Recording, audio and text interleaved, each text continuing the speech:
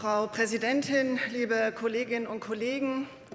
Nach 25 Jahren legt diese Landesregierung, Frau Minister Schäfer, einen Familienbericht vor. Und ich danke ihr ausdrücklich dafür, dass sie das angepackt hat.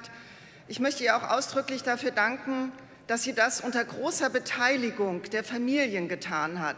Das heißt, in diesem Bericht wird nicht nur über Familien gesprochen, es wird nicht nur ihre Situation beschrieben, sondern die Familien kamen selber zu Wort. Sie haben ihre Bedürfnisse, ihre Gewünsche geäußert. Und ich glaube, das ist der gute Stil, den wir Rot-Grün ähm, pflegen, dass wir Beteiligte, dass wir Betroffene zu Beteiligten machen. Und danke, Frau Schäfer, dass Sie das auch hier in diesem Punkt wieder umgesetzt haben.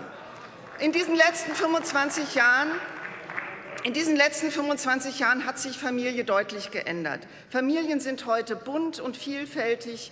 Wir haben Patchwork-Familien, es gibt viele Alleinerziehende, die Regenbogenfamilien kommen dazu. Ein großer Teil der Familien mit Kindern hat einen Migrationshintergrund. Und auch das hat sich geändert. Es gibt ein Verständnis von Familie, das sehr viel weiter gefasst ist, nämlich dass Familie überall dort ist, wo Menschen füreinander verbindlich Verantwortung übernehmen. Dieser Bericht nun ähm, zeigt uns ein sehr detailliertes äh, Bild von der Situation und den Bedürfnissen der Familien in Nordrhein-Westfalen. Und eins zeigt an aller Deutlichkeit, meine Vorrednerinnen haben das zum Teil aufgegriffen, es zeigt, dass Familien vielfach in der Zeitfalle sitzen. Familien und Eltern fehlt es vor allen Dingen an Zeit.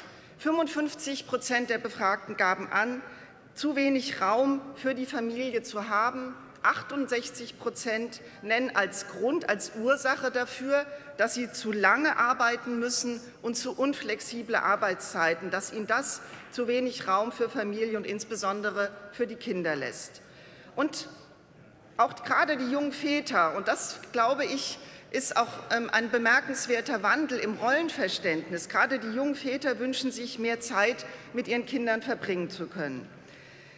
Das zeigt ähm, den Rollenwandel, aber auch eines, ähm, eine Zahl äh, macht das deutlich, dass junge Menschen aus diesen alten traditionellen Rollenbildern ausbrechen wollen, denn 45 Prozent der befragten Eltern wünschen sich, dass beide Eltern erwerbstätig sind und sich gemeinsam um Haushalt und Familie kümmern. Und ich glaube, das ist doch eine sehr positive Erkenntnis, die Anlass zur Hoffnung gibt.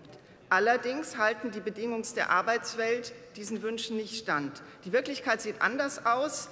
In einem Drittel der Familien sind die Männer immer noch die Alleinverdiener. Die Erwerbsquote von Frauen in Paarfamilien liegt heute immer noch bei insgesamt nur 64 Prozent. Und die Zahl der Familien, in denen die Väter oder beide Eltern in Teilzeit arbeiten, ist mit drei Prozent verschwindend gering. Auch die Anzahl übrigens der Väter, die in Elternzeit gehen, ist sehr gering. Wir haben immer noch die, den großen Anteil der Zwei-Monatsväter, die diese zwei Monate zusätzlich dann nehmen und äh, bei ihren Kindern zu Hause bleiben, aber danach dann wieder zum großen Teil ähm, die äh, Sorgearbeit ähm, äh, den Frauen und Müttern überlassen. Liebe Kolleginnen und Kollegen, ich glaube, hier sind Wirtschaft und Politik gefordert, Arbeitszeitmodelle zu entwickeln, um Raum und Zeit für das Miteinander in der Familie, die Sorgearbeit für Kinder, aber auch die Sorgearbeit für zu pflegende Angehörige zu ermöglichen. Es gibt Modelle dazu, die eine Reduzierung der Arbeitszeit oder eine flexible Ausgestaltung der Wochenarbeitszeit in bestimmten Zeitfenstern vorschlagen. Sie liegen auf dem Tisch. Und es liegt im eigenen Interesse der Arbeitgeber und der Wirtschaft, sich solchen Vorschlägen nicht zu verschließen. Denn sie dienen auch der Fachkräftesicherung und sie dienen, last but not least, zum Erhalt von motivierten glücklichen Mitarbeiterinnen und Mitarbeitern. Und was kann sich ein Arbeitgeber Besseres wünschen? Meine Damen und Herren, erfreulich ist, dass seit 2008 trotzdem der Anteil der erwerbstätigen Mütter von Kindern im Alter von einem Jahr um 4,3 Prozent immerhin und im Alter von zwei Jahren um 4,7 Prozent gestiegen ist. Und das ist natürlich der gestiegenen Betreuungsquote im U3-Bereich zu verdanken, die, wir wissen es, für die Ein- und Zweijährigen bei 54,9 Prozent in Nordrhein Nordrhein-Westfalen liegt. Wir arbeiten weiter daran, dass wir dann noch besser werden, dass wir noch mehr dem Bedarf von jungen Eltern auch gerecht werden. Aber wir setzen nicht nur auf Quantität in der Kita, sondern auch insbesondere auf den qualitativen Ausbau. Und da muss ich sagen, freue ich mich besonders über eins in dem Familienbericht. Frau Ministerin Schäfer hat es bereits erwähnt. 76 Prozent der Eltern von Kindern in einer U3-Betreuung bewerten die Betreuungsqualität als sehr gut oder gut. Und das zeigt, dass wir mit unserer rot-grünen Politik erfolgreich sind, dass Rot-Grün wirkt für die Kinder und für die Familien. Liebe Kolleginnen und Kollegen, wir sehen diese positive Resonanz auch als Ansporn und werden weiterhin die Qualität der frühkindlichen Bildung in den Mittelpunkt stellen. Und Herr Hafke, Sie müssen sich gar nicht sorgen, die Haushaltsberatungen stehen bevor. Dann werden wir sehen, welche Fraktion welche substanziellen Vorschläge auf den Tisch legt. Hier sollten wir nicht vorgreifen. Ein Aspekt ist mir noch wichtig. Frühkindliche Bildung wirkt präventiv gegen Armut. 18 Prozent Kinderarmut in Nordrhein-Westfalen.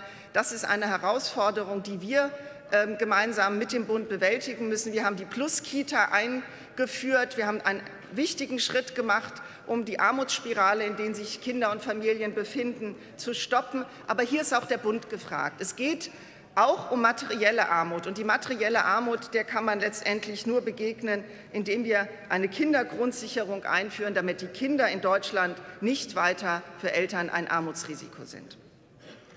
Wir leben heute in einem Bundesland mit 19 Prozent Alleinerziehenden. Das ist eine hohe Zahl. Gerade diese Frauen sind besonders armutsgefährdet. Und ähm, hier zeigt sich, dass wir da noch mal ein großes Augenmerk drauf legen müssen und eine besondere Unterstützung ähm, anbieten müssen. Meine Damen und Herren, der Familienbericht ist eine gute Grundlage, an die wir für unsere Politik für Kinder und Familien in Nordrhein-Westfalen anknüpfen können. Ich freue mich, dass die scheidende Familienministerin Ute Schäfer angekündigt hat, dass der Bericht weiter fortgeschrieben wird.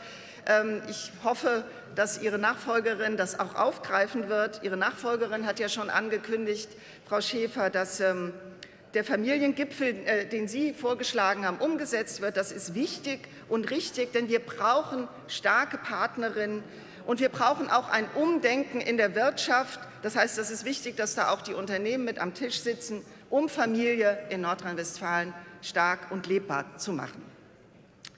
Zum Schluss, meine lieben Kolleginnen und Kollegen, erlauben Sie mir, dass ich mich ähm, bei der Frau bedanke, die in den letzten fünf Jahren in Nordrhein-Westfalen die Familienpolitik geprägt hat, und das ist Ute Schäfer.